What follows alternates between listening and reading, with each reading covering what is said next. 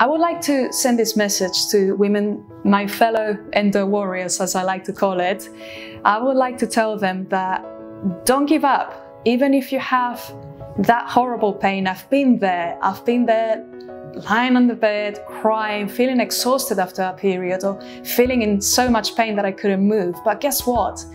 That can end, and you don't have to just give up.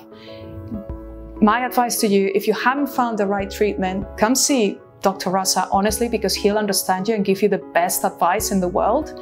Um, make sure that your diet is on point. Make sure that you exercise. Even if you're in pain, I've been there. I've been doing ballet and uh, with in a lot of pain, but just because I know it improves my state of mind and the pain.